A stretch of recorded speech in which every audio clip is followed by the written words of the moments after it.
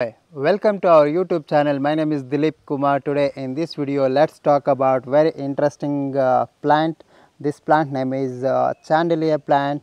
Some call it as uh, mother of millions, some call it as mother of thousands. And this scientific name is Kalanchoe delagoensis and it belongs to the family of uh, Crassulaceae. And this is a succulent plant. Succulent means you know the leaves are thick and it's tender and juicy uh, generally to store water. And also stem pot is also it's tender and it's juicy. Uh, that is also to generally to store the water. That is why it's called as a succulent plant.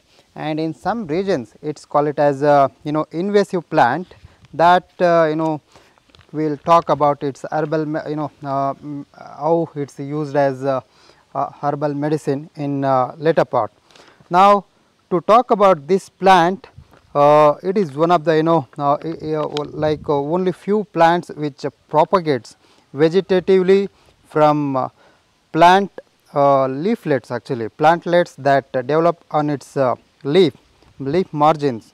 It's a robust you know biennial or more or less it's a perennial.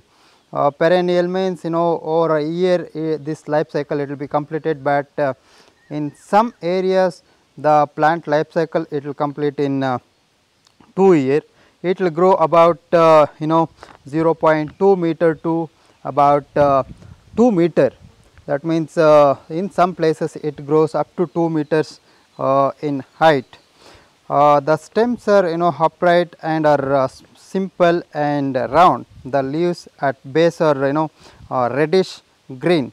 At you know basal side you can focus uh, reddish green to gray and uh, this you know with reddish brown spots you can find and on the tip of the leaf margins there are uh, 2 to 9 small teeth on which numerous uh, brood buds are present. Uh, it is a multi-flowered plant. Uh, the flowers will be in reddish to green color. Of course, now flowering season is uh, this is not the flowering season, and uh, this is uh, considered as invasive plant in um, countries like uh, Australia and some other uh, uh, regions because uh, it invades other plant. Now let us take you know look you know year about we planted this area about some 25 years back we planted only one plant. Now I will show you you can focus this side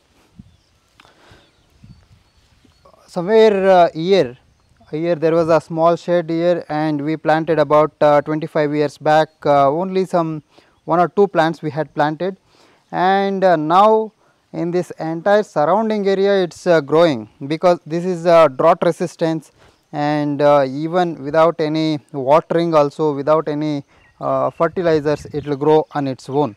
That is how it sustains even in drought drought like situations even here for uh, some time continuously for about uh, 3 years we did not get any rain.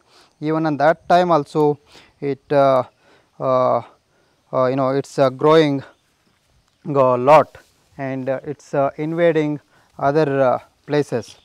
And mainly some of you know the uh, it's used as uh, uh, and it's a poisonous actually. Sometimes i heard in a report back in 1997 uh, back in 1997 about uh, 125 uh, cattle were uh, died uh, by consuming uh, this plant in New South Wales. And but you know as far as my experience in where we are shooting this video near Bangalore I didn't come across such you know this thing and you can focus here. Even some goats and some sheep were you know grazed here. They have uh, consumed you know this part. Even I had seen some animals eat this but uh, not to the extent where uh, they died. And I have not seen any animal in our place you know it got uh, affected uh, affected by this. This plant actually contains uh, bufadiolin and cardiac acid that is uh, very toxic for uh, toxic and poisonous for uh, uh, you know animal grazing animals. And uh, about uh, you know even though it is uh, fatal for uh, grazing animals it has got numerous you know uh, uh, herbal medicinal uh, uses. This is uh, used to treat uh, uh, oral health uh, it treats uh, rhinitis ulcers uh, to treat uh, you know cancer. It protects uh, female reproduction system. And also for treating back pain uh, hot leaves can be placed uh, in areas of the back where you know the person who is uh, experiencing back pain. And it is a good analgesic that means uh, it can cure uh, headache and uh, migraines. It also used to remove stays in you know high human eye and uh, health of uh, you know feet. Uh, human uh, you know our uh, feet uh, it will give a very good relief for feet pain. You know and also in hot water actually we can immerse our feet for about uh, 30 feet with this juice or with this hot you know leaves. And the paste can be applied as a sunburn we can uh, make paste out of these uh, leaves and uh, it it can be used as sunburn. It also used to treat warts and to treat wounds and also curve pain. And it also helps to treat uh, diseases of uh, ear nose throat. Uh, it used to remove wrinkles on face and also for relaxing muscles it is uh, used. Uh, even though uh, as I said you know it is fatal for animals, but since my childhood actually even whenever I visit my garden I just cut you know these juicy tender leaves and I actually taste it. Uh, so far actually uh, I did not feel any uh, uncomfortable or unpleasant. For me this is uh, uh, uh, nice thing you know uh, I am consuming it since about since my childhood let us say the time we planted this chandelier plant.